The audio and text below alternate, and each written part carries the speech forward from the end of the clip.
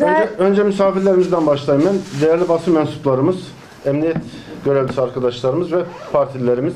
Hepiniz hoş geldiniz. Bugün 25 Kasım Kadına Yönelik Şiddete Karşı Uluslararası Mücadele Günü. Bunu söylerken bile evet haz duyuyorum. Çünkü kadına yönelik şiddet artık uluslararası düzeyde anılmaya başlandı. Ee, bu nedenle de e, kadına yönelik şiddete hayır diyorum ben. Bu konuyla ilgili Kadın Kolları İl Başkanımız Meral Hanım'ın basın açıklamasını dinleyelim. Hepiniz hoş geldiniz. Cumhuriyet Halk Partisi Kadın Kolları Genel Başkanı Aylin Nazlı Akan'ın 25 Kasım kadına yönelik şiddete karşı Uluslararası Mücadele Günü'ne ilişkin basın açıklaması. İstanbul Sözleşmesi'nden vazgeçmiyoruz. 25 Kasım kadına yönelik şiddete karşı Uluslararası Mücadele Günü. Gücünü üç kız kardeşin bir diktatöre karşı verdiği onurlu mücadeleden alıyor. Tarihe Mirabel kardeşler olarak geçen bu üç kadın ülkelerinde demokrasiyi savundukları için vatan haini ilan edildiler ve defalarca hapse atıldılar.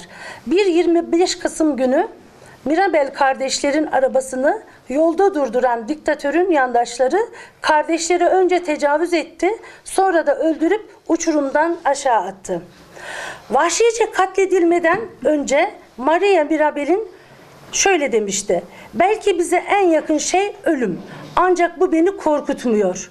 Haklı olan her şey için savaşmaya devam edeceğiz. 61 yıl önce canlarıyla bedel ödeyen bu cesur ve onurlu kadınların mücadelesi bugün de bizim omuzlar, omuzlarında yükseliyor. Bu bilinçle dünyaya ve ülkemize demokrasiyi, adaleti ve eşitliği getirmek için var gücümüzle çalışıyoruz.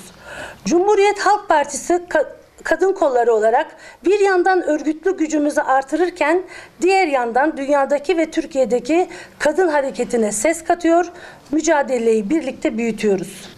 Ülkemiz demokrasiden uzaklaştıkça kadına yönelik şiddet hız kesmeden devam ediyor. Kadınlar sırf kadın oldukları için öldürülüyor, şiddete uğruyor.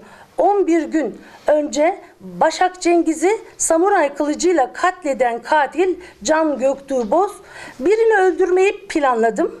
Kadın direnemez diye onu öldürdüm demişti. Bizler en temel hakkımız olan yaşam hakkımıza sahip çıkmak için direniyoruz.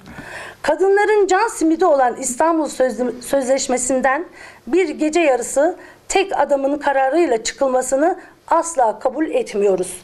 İlk seçimlerde kadın düşmanı zihniyeti sandığa gömeceğiz. Ve Genel Başkanımızın Sayın Kemal Kılıçdaroğlu'nun söz verdiği gibi ilk bir hafta içinde İstanbul Sözleşmesi'ni yeniden yürürlüğe koyacağız.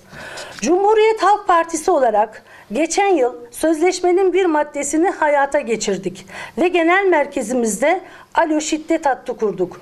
Yaşam en temel haktır diyerek projemize Yaşam Hak adını verdik.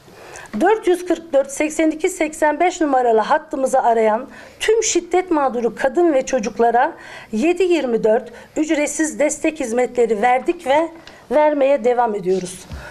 Projemiz kanalıyla şunu daha net görüyoruz. İstanbul Sözleşmesi'nin fesih kararından sonra iletilen şiddet vakalarında artış var. Eğer İstanbul Sözleşmesi yürürlükte olsaydı ve uygulansaydı şiddet uygulayan birçok fail caydı- caydırıcı cezalar alacaktı.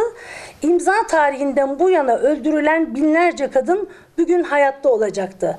Katiller yatarım 3-5 ay çıkarım rahatlığıyla hareket etmeyecekti.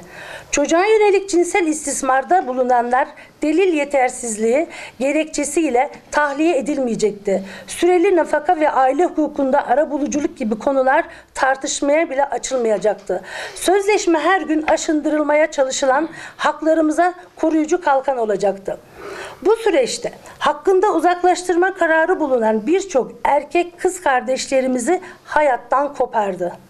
Nermin U 4 yıl önce boşandığı Mahir A'ya yönelik beni öldürecek diyerek koruma kararı istediği karakoldan dönerken sokakta aynı erkek tarafından öldürüldü.